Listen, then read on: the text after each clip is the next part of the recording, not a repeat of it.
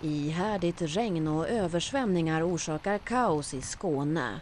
Här en bil som nästan försvunnit under en viadukt.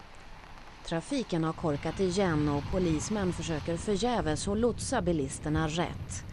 Översvämningar har drabbat mängder av hushåll och norr om Helsingborg hittades en kvinna död i sin vattenfyllda bil.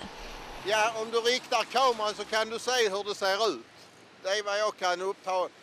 Det värsta är att folk vet inte var de ska hen, hur de ska ta sig ut ur stan.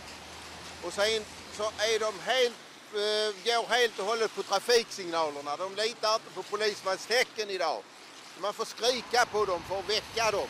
Vad är det som ställer till trubbel då? Varför kan man inte köra ut och in i Malmö? Ja, du har läst hur mycket regn vi har fått va? Ja, det är det. Vägnätet är väl underdimensionerat eller avrinningen om man säger så, så det sväljer inte hur mycket som helst. Men vi har inte haft sånt här oväder på jag vet inte när. Det är stora översvämningar alltså på motorvägen.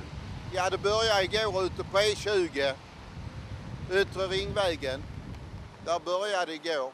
Och sen har det fortplantat sig i, i natt. Och det blir väl ännu värre för det slutar inte droppa uppifrån. Vad, ska man, vad borde man göra som bilist i det här läget nu då? Sätta sig och läsa en karta och veta var är jag, hur kommer jag fram. Är man inte tvungen så bli hemma.